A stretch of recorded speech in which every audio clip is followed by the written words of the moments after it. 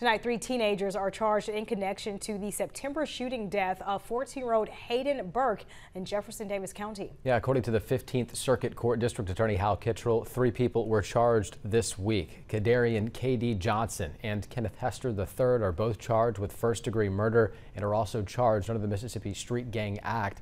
Jonathan Berry is being charged with accessory after the fact and was also charged under the Mississippi Street Gang Act.